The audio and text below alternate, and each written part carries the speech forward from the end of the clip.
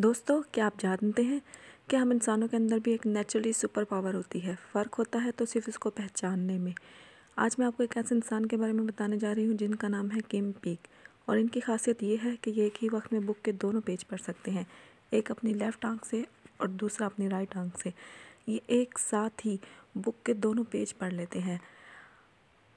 और इन पर एक मूवी भी बनी थी जिसका नाम था द रेन मैन